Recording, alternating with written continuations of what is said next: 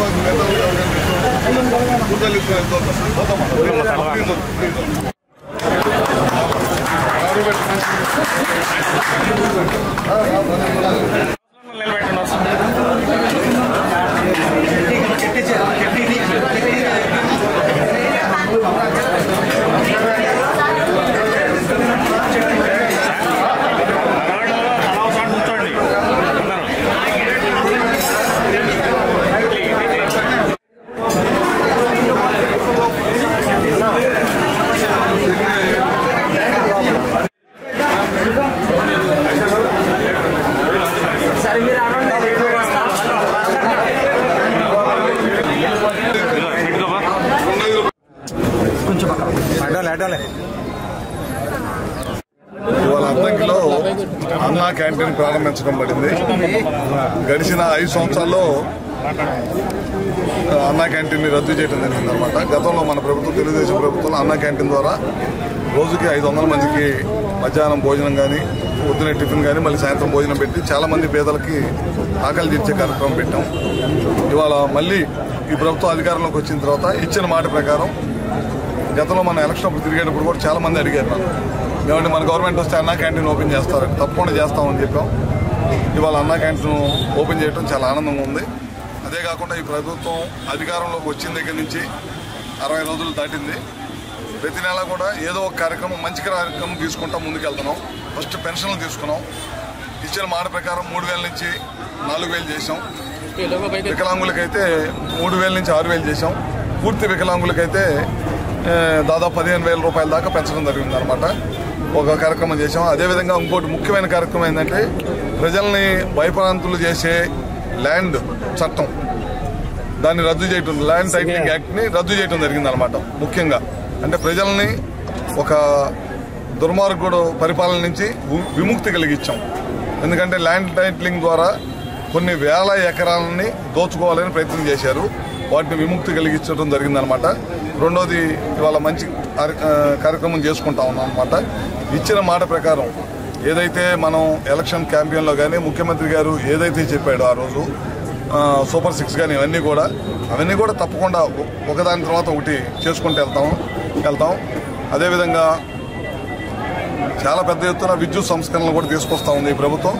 గడిచిన ఐదు ఐదారు ఐదు సంవత్సరాల్లో ఒక్క కార్యక్రమం కూడా విద్యుత్ సంబంధించి గడిచిన ప్రభుత్వం ఒక్కడు కూడా చేయలేదు. ఒక లాభసాటి వ్యవస్థగా సొంత లాభసాటిగా వ్యవస్థగా దాన్ని వాడుకోవడం జరిగిందనమాట ఇవాళ ఈ ప్రభుత్వం వచ్చిన తర్వాత ముఖ్యంగా కొత్త ఉత్పత్తిని పెంచాలనే ఆలోచనతోటి ముఖ్యమంత్రి గారు రకరకాల దాంతో ముందుకెళ్తా ఉన్నారు. ముఖ్యంగా సోలార్ని కానీ విండ్ని కానీ వీటన్నిటిని కూడా తీసుకొని వెళ్ళాలనే దానికోసం వెళ్తా ఉన్నారనమాట తప్పకుండా రాబోయే రోజుల్లో ఏదైతే ఎలక్షన్ టైంలో ఇచ్చిన హామీలన్నింటిని కూడా ఒకదాని తర్వాత పూర్తి చేసుకుంటూ అందరితోటి ముందుకెళ్తామని చెప్పి తెలియజేస్తున్నాను. ఖచ్చితంగా మొన్న ఎన్టీపీసీ వాళ్ళతోటి ఒక ఒప్పందం జరిగింది. మీరు కూడా చూసి ఉంటారు పత్రికల్లో వచ్చింది.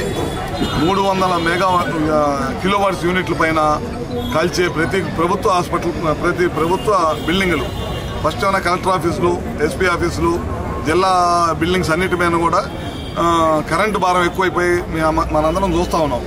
పంచాయతీల్లో కానీ లేదా కలెక్టర్ ఆఫీసులో కానీ కరెంటు బిల్లు కట్టట్లేదని చెప్పి కరెంటు కట్ చేయడం ఇట్లాంటివన్నీ జరుగుతూ ఉన్నాయి. ఎప్పుడు? అవి జరగకుండా ఉండటం కోసం ఇప్పుడు ప్రతి ప్రభుత్వ బిల్డింగ్స్ పైన సోలార్ని పెట్టేసి దాని ద్వారా నాణ్యమైన విద్యుత్తు ప్రభుత్వ కార్యాలయాలకు ఇవ్వాలని పెట్టుకున్నాం. తర్వాత ప్రధానమంత్రి గారిది ఇంకోటి ఉంది సూర్య గారు అని చెప్పి. దాని ద్వారా కూడా ప్రజలు ఎవరైనా ముందుకు వచ్చి వాళ్ళ ఇంటి మీద కనుక పెట్టుకుంటాయంటే దాదాపు మూడు కిలోవాట్ల దాకా సబ్సిడీ ఇవ్వటం జరుగుతుంది.